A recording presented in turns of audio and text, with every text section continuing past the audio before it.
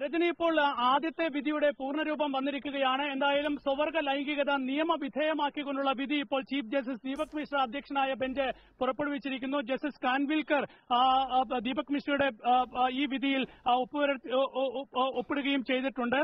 എന്തായാലും ഇപ്പോൾ ആദ്യത്തെ വിധിയിൽ നാല് വിധി പ്രസ്താവമാണ് ഉള്ളത്. അതിൽ ആദ്യത്തെ വിധിയിൽ ചീഫ് ജസ്റ്റിസ് ദീപക് മിശ്ര വായിച്ച ആ വിധിയിൽ സ്വവർഗ ലൈംഗികത നിയമവിധേയമാക്കിയിരിക്കുന്നു. മുന്നൂറ്റി എഴുപത്തിയേഴാം വകുപ്പ് പോകേണ്ടതാണ് എന്ന് സുപ്രീം കോടതി വിധിച്ചിരിക്കുന്നു. ചീഫ് ജസ്റ്റിസ് ദീപക് മിശ്ര അധ്യക്ഷനായ ബെഞ്ചാണ് ഇപ്പോൾ ഈ വിധി പ്രസ്താവം നടത്തിയിരിക്കുന്നത്. എന്തായാലും സുപ്രീം കോടതിയുടെ ആദ്യ അഞ്ചംഗ ഭരണഘടനാ ബെഞ്ചിലെ ആദ്യ വിധിയാണ് ചീഫ് ജസ്റ്റിസ് ദീപക് മിശ്ര വായിച്ചത്. ഇനി മറ്റ് ജഡ്ജിമാർ കൂടി വിധി പ്രസ്താവം നടത്താനുണ്ട്. മറ്റ് ജഡ്ജിമാർ ഇപ്പോൾ വിധി പ്രസ്താവത്തിലേക്ക് കടക്കുകയാണ്. എന്തായാലും ഏറെ ശ്രദ്ധേയമായ പരാമർശങ്ങൾ തന്നെ ചീഫ് ജസ്റ്റിസ് ദീപക് മിശ്ര ഈ വിധിയിലൂടെ നടത്തിയിട്ടുണ്ട്. ഒരാളുടെ ലൈംഗികത ഭയത്തോടുകൂടി ആകരുത്.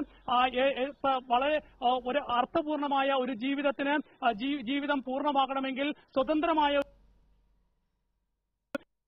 സ്വാതന്ത്ര്യം വ്യക്തിക്കുണ്ട് ആ ലൈംഗികത എന്നത് ഒരാളുടെ മൗലിക അവകാശമാണ്. ഏത് ലിംഗത്തിലുള്ള ആളുമായി ലൈംഗിക ബന്ധത്തിൽ ഏർപ്പെടാൻ ഒരാൾക്ക് ഭരണഘടനാപരമായ അവകാശമുണ്ട് എന്നുകൂടി ചീഫ് ജസ്റ്റിസ് ദീപക് മിശ്ര അധ്യക്ഷനായ ബെഞ്ച് ഇപ്പോൾ വ്യക്തമാക്കിയിരിക്കുകയാണ്. എന്തായാലും കേസിൽ വിധിപ്രസ്താവം തുടരുകയാണ് രജനി.